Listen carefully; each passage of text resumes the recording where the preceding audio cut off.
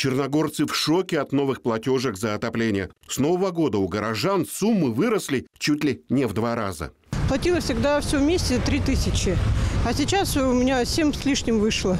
Оборзевшие до невозможности. Это уже враги народа, больше никак не назовешь. Просто с людей берут деньги, получается так, ни за что. Естественно, понятно возмущение людей. Вон, смотрите, сколько женщин пожилых. Они же все на лекарствах сидят. Большая часть денег уходит на лекарства, да на ЖКХ. А на прожитие остается совсем немножко. Поэтому кому это понравится? Никому. В СГК стоят на своем. Виновата морозная погода, поэтому существенно вырос объем потребления тепла. Специалисты добавляют, повлиял и декабрьский федеральный рост тарифов. Тарифы тоже выросли. Это не новость, это не первый раз. Это происходит ежегодно, но тут не такие большие суммы, э, чтобы, допустим, рассматривать их как э, прям в целом увеличение, э, как вы говорите, в два раза начисления и так далее. А взлетевшее платье за тепло сегодня говорят не только на кухнях. Проблемой озаботился Верховный Совет Хакасии. На последней сессии от обсуждений было жарко. Каких только предложений не прозвучало. И провести публичные слушания, и пересмотреть тарифы не обошлось и без претензий, мол, куда смотрит профильный комитет регионального правительства. Кричали больше всех, задавали вопросы глупее всех. Я вот проанализировал и смотрел э, все-таки, как прошла сессия. Вопросы, относящиеся абсолютно не к тому, почему у нас это происходит.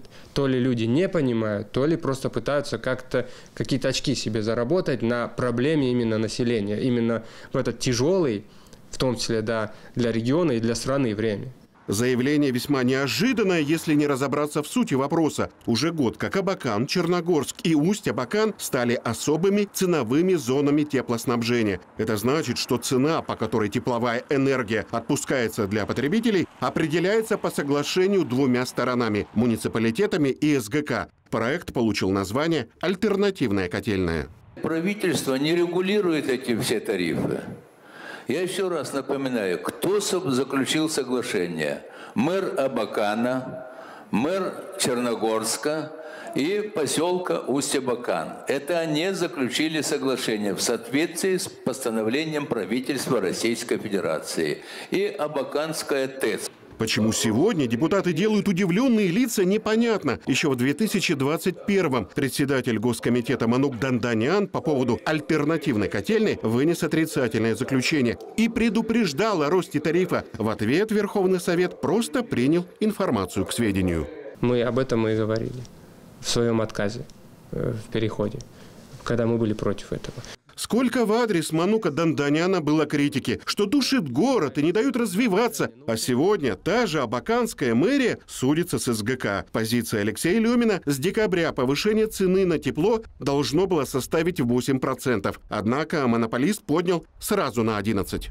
Взяли, э, произвольно увеличили цены на 60-70% тарифа. Это что такое? Где директор ТЭЦ?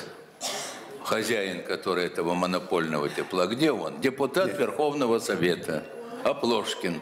Вопрос резонный. А где депутат Андрей Оплошкин? Член «Единой России» мог с трибуны или хотя бы внутри своей партийной фракции объяснить тарифы образования. Но он сменил место работы, уехал в Новосибирск, возглавив там филиал СГК. Кстати, в телеграм-каналах обсуждается новость, что в условиях спецоперации Андрей Оплошкин запланировал со своей семьей тур на Мальдивы, чтобы в райском местечке отметить юбилей супруги. То есть главный по теплу в Сибири уехал за теплом на побережье побережье Индийского океана. На той самой сессии депутаты приняли постановление до 1 марта проанализировать причины повышения, обратиться в прокуратуру, чтобы надзорники дали оценку действиям СГК. Но только спрашивать о росте платежей жителям надо персонально. С мэра Абакана Алексея Лемина, мэра Черногорска Василия Белоногова и главы Усть-Абакана Нины Леонченко, заключивших соглашение. Пока тоже не уехали на моря.